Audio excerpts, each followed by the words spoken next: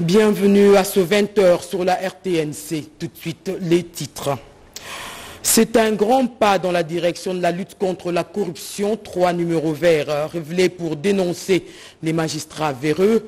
Le procureur général près la Cour de cassation les a dévoilés lors d'une séance de travail avec la coordination de la jeunesse. Et c'est une réalité. La maternité gratuite lancée hier par le chef de l'État est effective. Le ministre de la Santé s'en est lui-même rendu compte ce jour dans un hôpital de la place.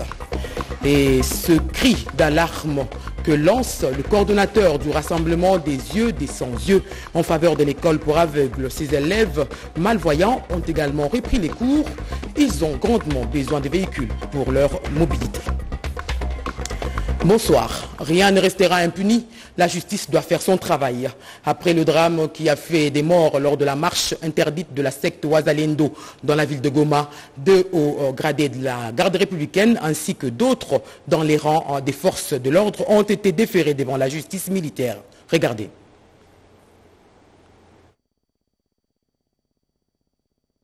Deux hauts gradés et quatre soldats de l'armée congolaise sont devant la cour militaire de Goma en procédure de flagrance pour répondre des faits de meurtre d'une cinquantaine de fidèles de la secte Ouazalendo à Nyabishongo. Le premier président de la cour militaire de Goma leur lit les griefs retenus contre eux. Et mis à votre vous êtes poursuivi, traduit devant nous, présenté devant la cour pour avoir donné la mort à 56 personnes, plus de 50 personnes, pour avoir euh, euh, détruit le matériel de l'État. Prévenu Bawili, présent.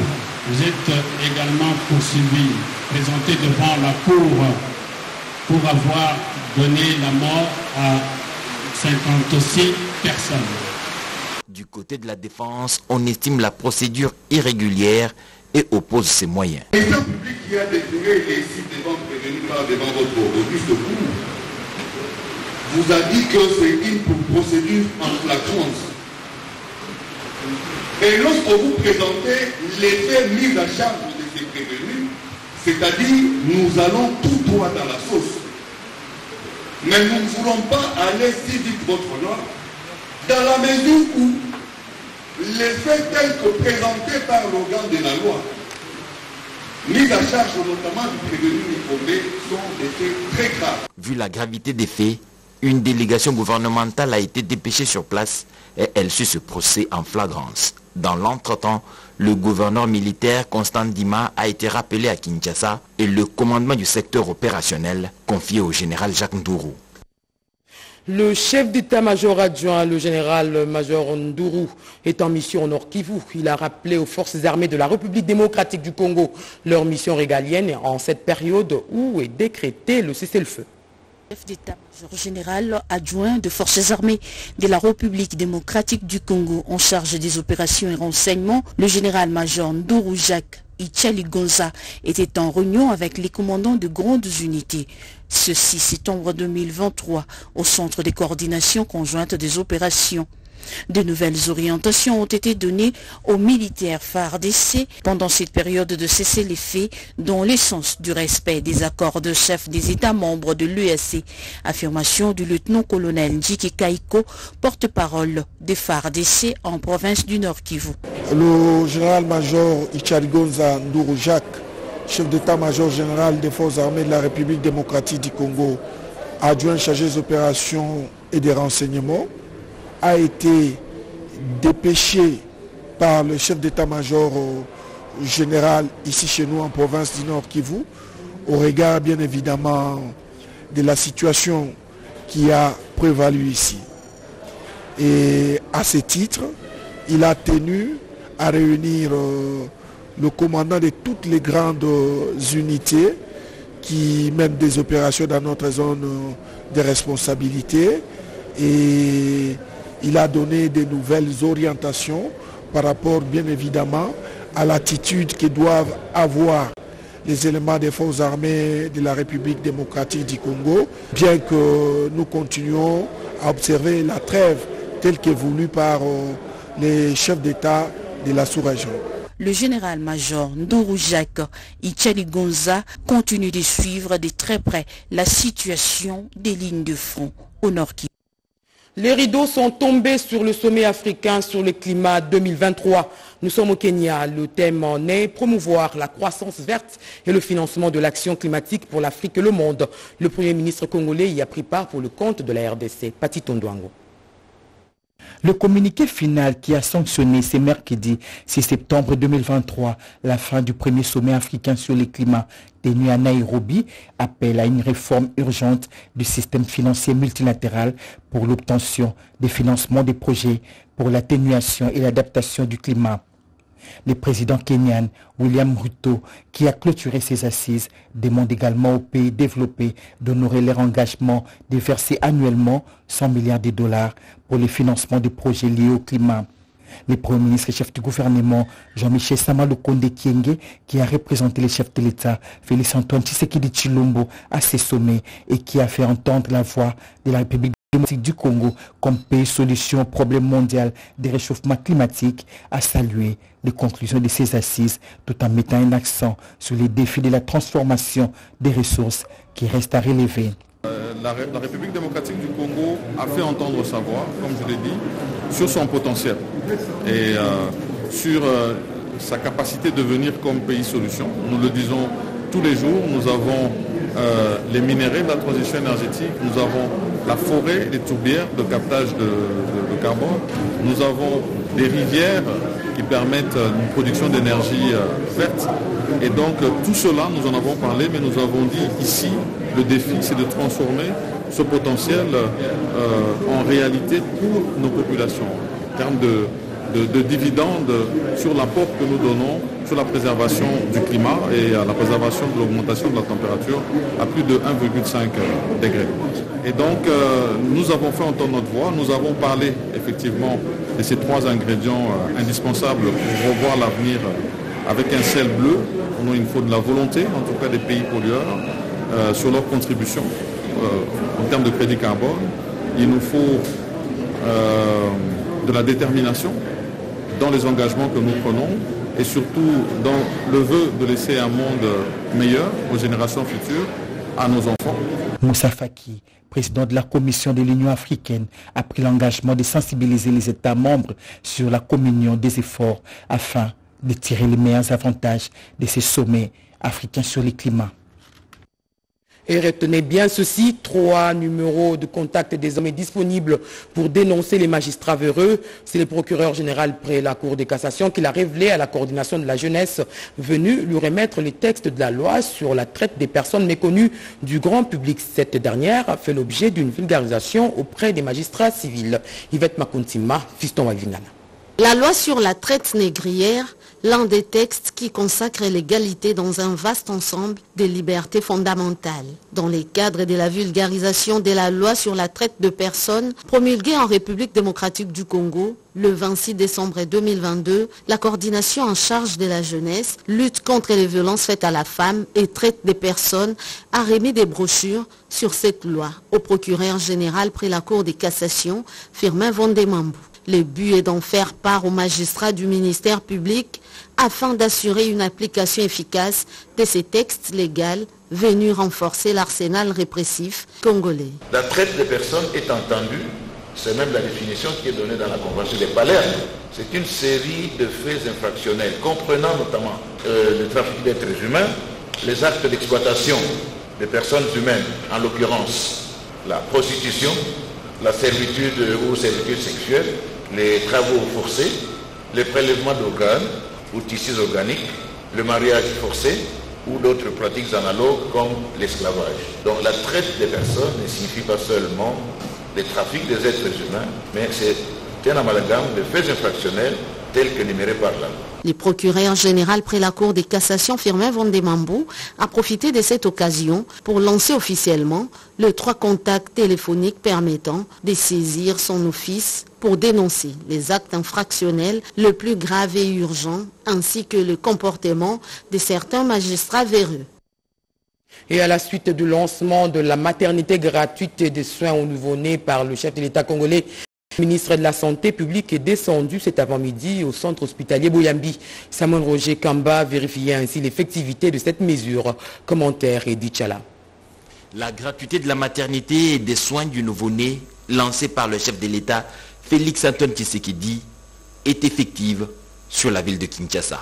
Pour en avoir le cœur net, le ministre de la Santé publique, Hygiène et Prévention, Samuel Roger Kamba, accompagné du coordonnateur du Conseil national de la couverture santé universelle, CNCSU, Polydor Kabila Mbongani, s'est rendu à Barumbu, au centre hospitalier Bouyambi dans la concession armée du salut. Les heureux nouveau-nés, gratuitement, sont pris en charge pendant leurs premiers 28 jours par la couverture santé universelle, comme dans près de 300 institutions sanitaires. Désormais, au Congo, une maman enceinte ne paiera plus rien.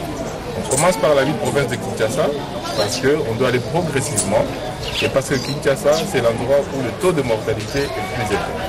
L'objectif de ce, changement majeur, c'est de diminuer la mortalité de nos mères et de nos bébés. Il ne faut pas, comme a dit le chef d'État, qu'une maman meurt en donnant la vie. Le ministre s'est aussi assuré du plateau technique du centre hospitalier pour offrir cette gratuité de la maternité des soins du nouveau-né. Au passage, l'instruction a été donnée au médecin directeur de rembourser les frais de maternité perçus alors que la gratuité avait déjà été lancée par le chef de l'État. Les prochaines étapes, ce sont les provinces du Congo central, les provinces de l'ancien Grand Bandundu, du Kasaï et du Sud Kivu. Le professeur Jean-Jacques Mouyembe, savant congolais à l'honneur, dans un ouvrage de l'auteur, le docteur Michel Mouvoudi, intitulé Jean-Jacques Mouyembe, cette personnalité inspirante. Dans ce reportage de Séverine Katanda et de Bijou et Kamba, découvrez la cérémonie du baptême de livre.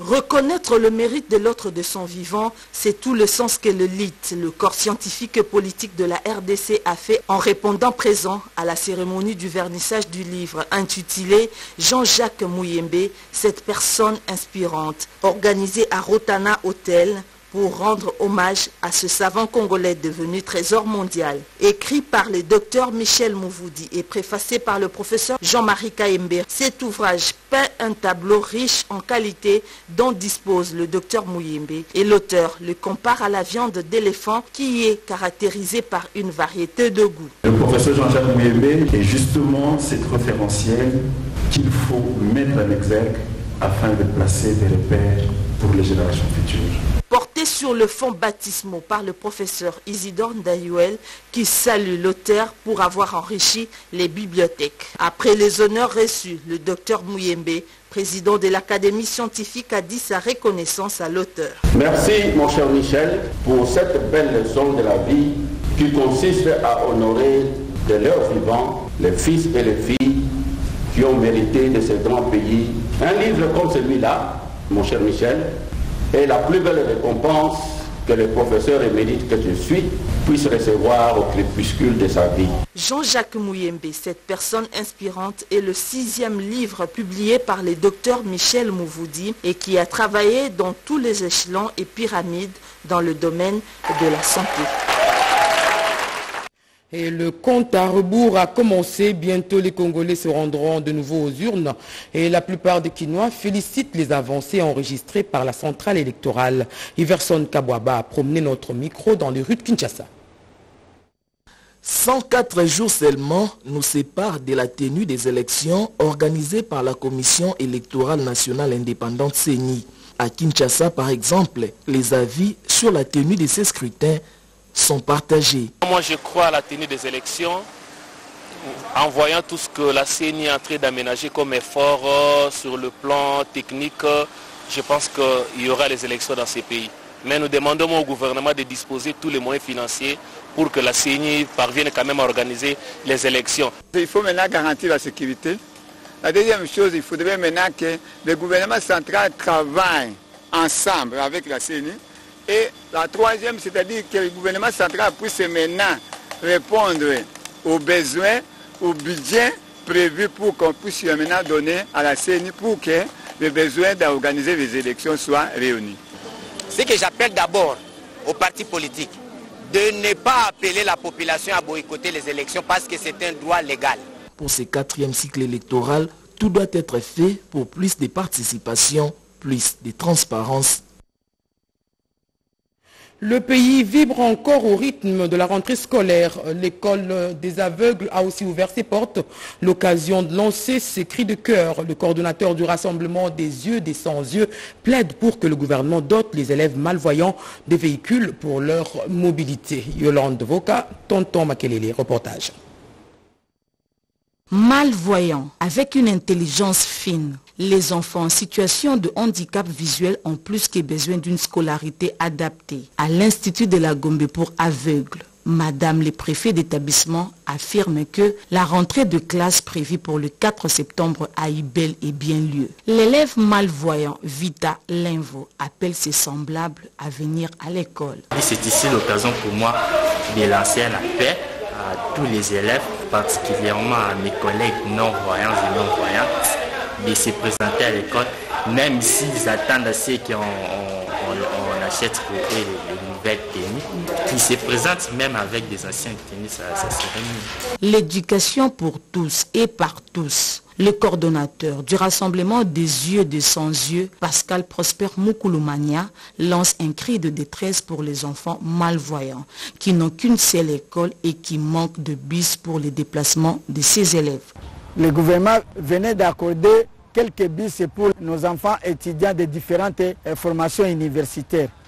Pas les écoles spécialisées Les écoles spécialisées comme l'Institut national pour aveugles de Willery, l'école des, enfants sur Miwe, sur Kabambare, ça va aider ces enfants à pouvoir euh, étudier au même titre que leurs collègues voyants et entendants dans d'autres écoles de l'enseignement ordinaire. Les élèves euh, doivent étudier dans des conditions adaptées à leurs conditions physiques. C'est l'occasion d'appeler les parents ayant des enfants en situation de handicap visuel, de les envoyer à l'école et inviter l'État à créer des écoles spécifiques. Un cri d'alarme, bien entendu. Elle est en vacances parlementaires à Louzi, Congo central. Il s'agit de la sénatrice Nefertiti Goudianza. Elle en a profité pour distribuer des kits scolaires aux élèves. Sa façon de soutenir ainsi la gratuité de l'enseignement prônée par le chef de l'État congolais. Reportage Guy. La politique de la gratuité de l'enseignement fondamental prônée par le président de la République trouve un écho favorable auprès de plusieurs compatriotes. C'est le cas de la sénatrice Nefertiti Ngoudianza qui soutient cette politique. Elle s'est rendue au Congo central profond pour venir au chevet des écoliers d'une quarantaine d'écoles. Ces enfants ont eu droit chacun à des kits scolaires, question de bien commencer cette année scolaire. Les élèves finalistes à l'édition d'examen d'État qui ont brillé ont reçu de ses mains des bourses d'études. Des écoles, des coupes et coutures n'ont pas été oubliées.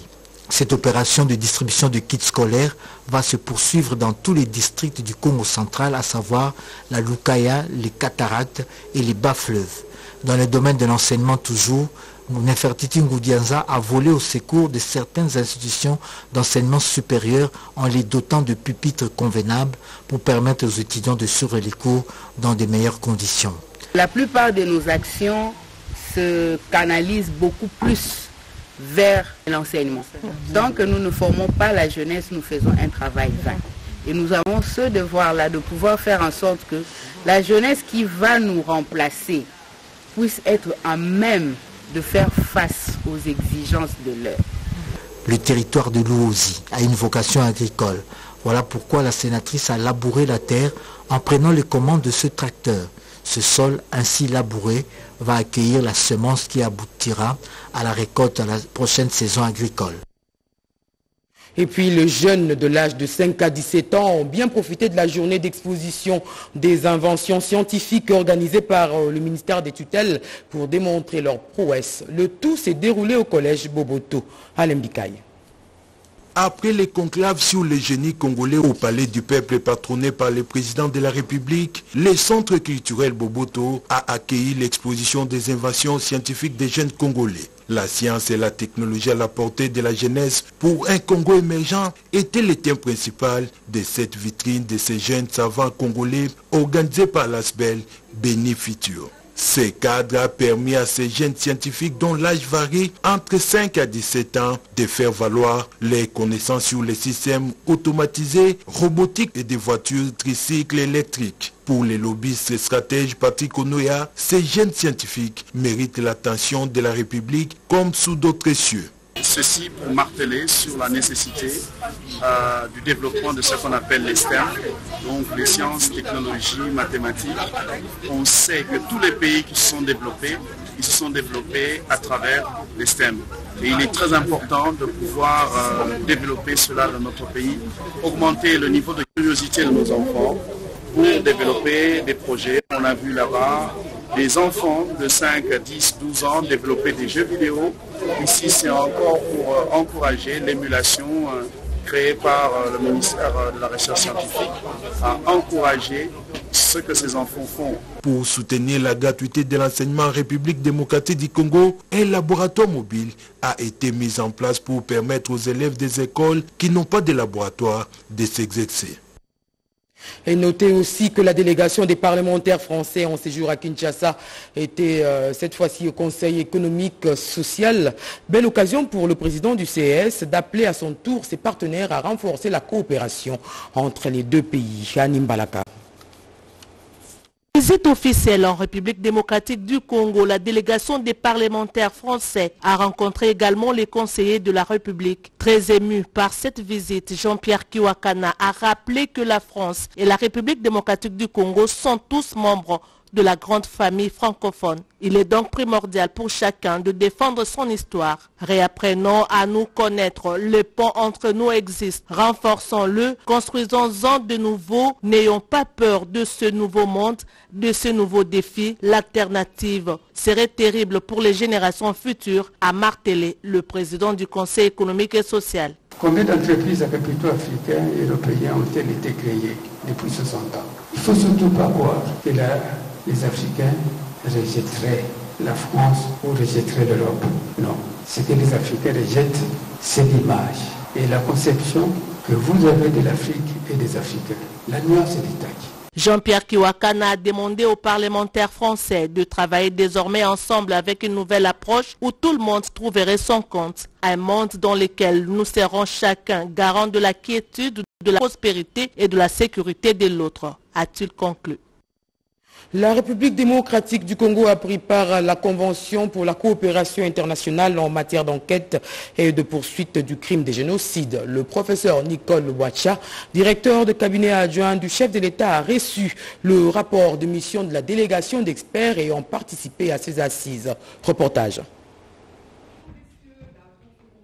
Une convention pour la coopération internationale en matière d'enquête et de poursuite du crime de génocide, des crimes contre l'humanité, des crimes de guerre et autres crimes internationaux a été adoptée en Slovénie du 15 au 26 mai 2023 avec la participation des représentants de près de 70 États et d'organisations internationales. La République démocratique du Congo a été valablement représentée à travers une délégation interinstitutionnelle constituée d'experts de la présidence de la République, de la vice-primature en charge des affaires étrangères et francophonie, ainsi que du ministère d'État en charge de la justice et garde des Sceaux. La délégation a été conduite par le conseiller principal du chef de l'État en charge des questions juridiques et administratives, le professeur Martin Moulumba. Ce mercredi 6 septembre, au Palais de la Nation, l'équipe des experts est venue officiellement présenter son rapport de mission à Madame la professeure Nicole Tumba Boacha, directeur de cabinet adjoint du chef de l'État en charge des questions politiques, juridiques et diplomatiques. D'entrée de jeu, Madame Boacha a remercié les plénipotentiaires pour le travail abattu en mettant un accent particulier sur la détermination du chef de l'État, Félix Antoine Tshisekedi Chilombo, à lutter contre toutes les formes d'impunité. Cette convention multilatérale constitue un outil important pour la République démocratique du Congo dans sa lutte contre l'impunité des crimes internationaux dont les auteurs trouvent parfois refuge sur les territoires des États étrangers afin d'échapper aux poursuites pénales des autorités congolaises compétentes. Occasion pour la délégation des experts de signer officiellement le rapport de leur mission sous la supervision de Madame Ladir Kaba Nicole Tumba Boacha. Dans leur rapport, la délégation interinstitutionnelle indique qu'il est souhaitable pour la RDC, après avoir négocié cette convention, de signer et de ratifier celle-ci dans les meilleurs délais afin de rendre effective la volonté du président de la République, celle d'asseoir un véritable état de droit où l'impunité des crimes graves n'a pas sa place. Et pratiquement toutes les provinces de la RDC ont déposé leur projet d'édite portant reddition des comptes de l'exercice ainsi clos. La Cour des comptes se dit satisfaite des résultats de la campagne de vulgarisation de transmission de ces documents financiers, bien sûr. Un reportage de Nancy Poba de vulgarisation entamée par la Cour de compte depuis sa réhabilitation par le président de la République, son Excellence Félix-Antoine Tshisekedi Chilombo, porte déjà ses fruits. 25 provinces sur 26 ont déposé leur projet d'édit portant reddition des comptes pour le budget du dernier exercice clos. Exploit que réalise la Cour des comptes à ce jour sous le leadership de son premier président, Jimmy Munganga Ngwaka. Les représentants des provinces de Maïndombe et Kwango sont venus s'acquitter de leur devoir de redevabilité. Ils ont bénéficié des conseils et orientations du premier président en matière de contrôle et de l'exécution des lois des finances. Pour nous, c'est la première fois, là nous devons être conscients que c'est pour la première fois que la province du Congo vient déposer ces documents ici à la Cour des comptes, parce que nous savons que selon l'OFIP, nous devions venir déposer cela. Mais comme vous savez que nous sommes une province démembrée, la décentralisation, on devait accompagner des provinces par la vulgarisation de toutes les dispositions de la loi. Félicitons et nous saluons d'abord l'esprit managérial du premier président de la Cour qui nous a rappelé, nous, les nouvelles provinces, peut-être les anciennes provinces les faisaient régulièrement, mais nous, en tant que nouvelles provinces, nous sommes vraiment très contents parce qu'au-delà de tout, c'est pour l'État congolais. Nous devons faire rapport sur la gestion bien de l'État et cela doit nécessiter aussi la sensibilisation. C'est pourquoi j'ai aimé la séance qu'on a tenue avec le premier président sur la pédagogie, les explications qu'il nous a fournies. Vraiment, je pense que les années qui viennent nous seront plus en retard. Seul le gouvernement provincial du Nord Ubangi n'a pas encore déposé son projet d'édit portant reddition de comptes exercice 2022. Quatre semaines après son installation, le nouveau conseil d'administration de l'autorité de régulation des marchés publics vient de tenir sa deuxième réunion extraordinaire. Parmi les points à l'ordre du jour, on retient la révision du budget et le processus de recrutement d'un directeur général et de son adjoint, Rikin Josiloya. Face aux attentes sérieuses devant garantir les principes généraux dans l'acquisition des commandes publiques en RDC, le nouveau conseil d'administration de l'autorité des régulations des marchés publics, RMP, vient de tenir la deuxième réunion extraordinaire sous la conduite du président du conseil d'administration, Maître Arma Chamala Kanyinda, installé il y a quatre semaines, avec les membres du comité de gestion, dont le directeur général par intérim Raymond Martin Luther Yumba. Pour bien assurer la transparence du système de marché public, il a été recommandé aux uns et aux autres un engagement et une détermination sans faille à accompagner la vision du chef de l'État Félix-Antoine Tshisekedi Chilombo. Nos hommages les plus déférents à son Excellence, Monsieur le Président de la République, chef de l'État, pour la confiance qu'il nous a placée. Nous avons eu le temps de discuter avec les uns les autres et chaque fois, euh, les problèmes sont les mêmes, très profonds, et les attentes sont très sérieuses. Mais devant ce, cette montagne de défis, je suis très confiant parce que euh, je vois le profil des membres de ce conseil d'administration, leur dévouement, leur euh, expérience en tant que technocrate. Nous serons à la hauteur.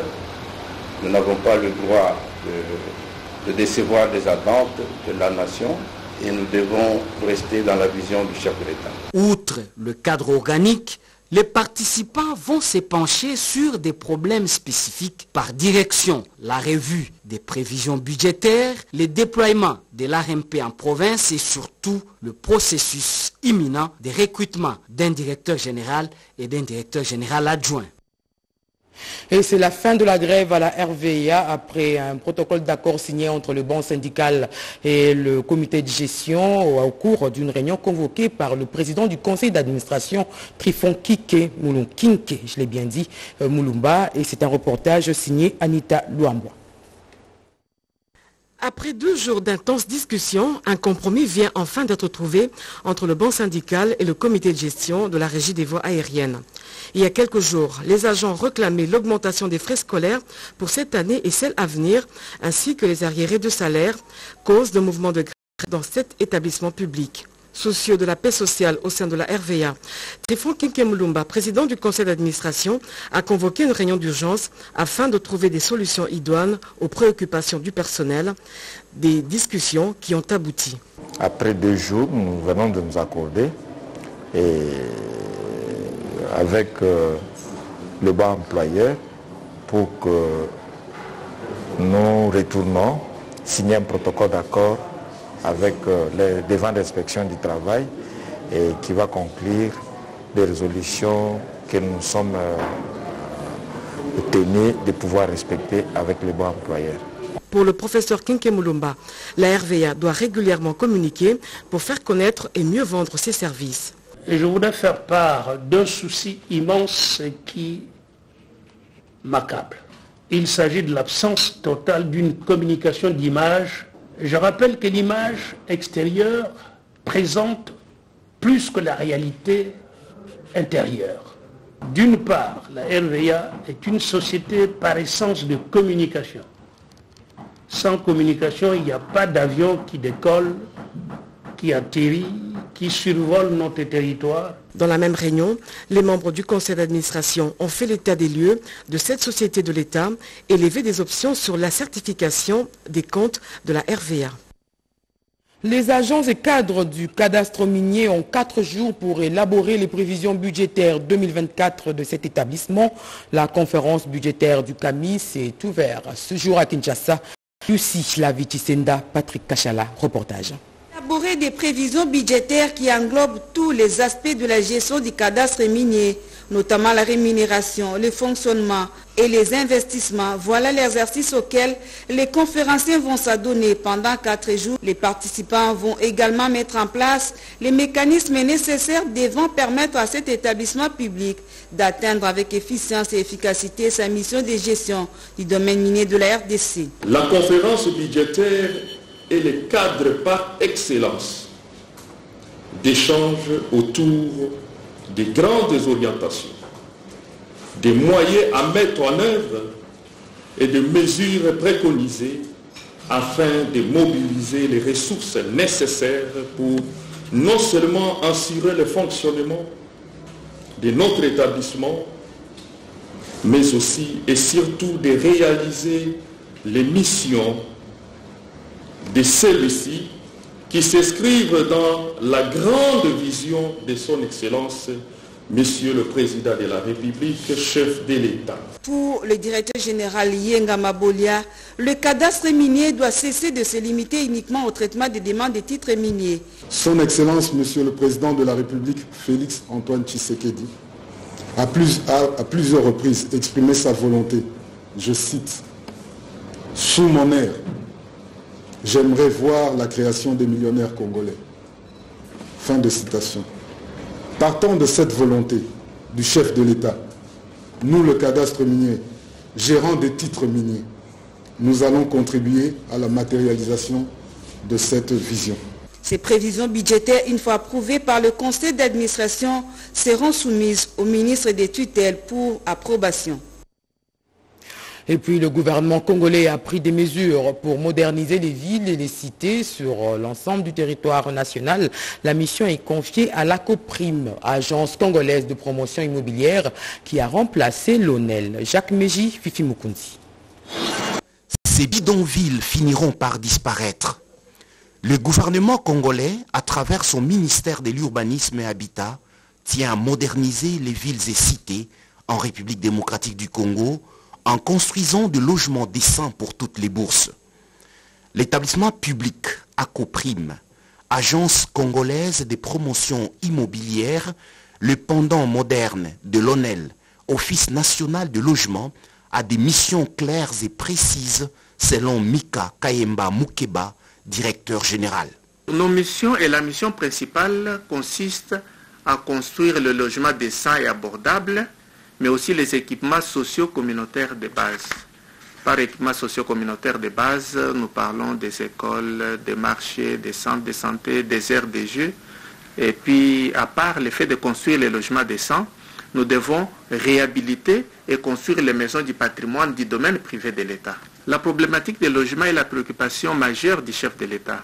Pour essayer de révolutionner la politique dans l'immobilier, le gouvernement qui est piloté par euh, le, euh, Premier ministre euh, Samalou Kondé a mis en œuvre une réforme. Et cette réforme a été menée par le ministre d'État de l'urbanisme et l'habitat. Ce que la population peut quand même voir avant décembre, c'est entre autres la réhabilitation de certaines maisons du domaine privé de l'État. Pour les maisons, les logements, proprement parler, nous disons que dans le quatrième trimestre 2024, nous aurons déjà les premières maisons. Pour le DG d'Acoprime, Kaemba Mukeba Mika, le respect des normes urbanistiques et architecturales sont toujours des mises lorsque l'État construit des villes et des cités. Et il sensibilise sur le programme de 145 territoires initié par le chef de l'État congolais. Le sénateur Lambert Mendo Malanga le fait depuis son loggia natal dans le Sankourou. Il appelle sa base à soutenir les actions du président de la République, Cédric Kenina. C'est devenu quasiment un rituel de mouvements de foule spontanés à chaque arrivée du député national Lambert Mendo Malanga à Lodja, dans le Sankourou. Accueilli au pied de l'avion par les comités provinciaux de son parti, la CCU et plusieurs autres cadres du regroupement politique AE, le meilleur élu de Sankourou s'est fait escorter par une marée humaine impressionnante qui prenait du volume au fur et à mesure qu'on approchait du stade Lumumba, point de convergence pour une communion avec sa base naturelle. En langue locale, Lambert Mendo Malanga, dans un discours interrompu à chaque fois par des salves d'applaudissements, a rassuré la population sur la ferme volonté du chef de l'État Félix Antoine Tshisekedi dans la réhabilitation de l'aéroport de Lodja, après avoir circonscrit l'objet de sa visite qui rentre dans le cadre de ses vacances parlementaires. Des défis sécuritaires, les revendications de la société civile locale sont là. D'autres points abordés. S'agissant de la situation sécuritaire dans l'est du pays, Lambert Mende a appelé Sankourou à se ranger derrière les chefs de l'État pour soutenir ces initiatives visant à pacifier les pays. Des rencontres sont prévues avec les forces vives.